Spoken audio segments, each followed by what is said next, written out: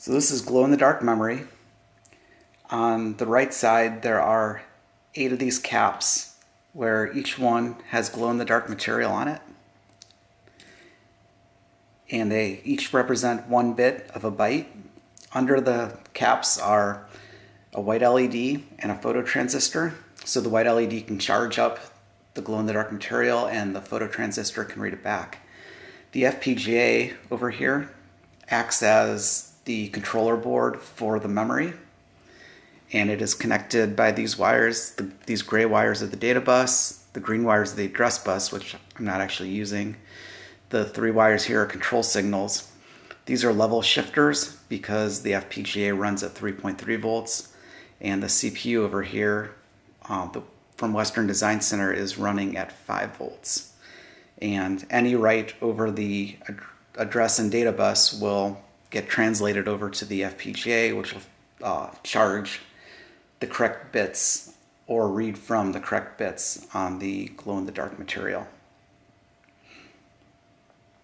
This is actually currently running in a in a debug state. The the reset signal is being held low on the FPGA, so it's not actually running right now. But the these LEDs right here basically debug. So this actually shows the values reading back from the uh, glow-in-the-dark material this shows the values that are being written to or trying to write to.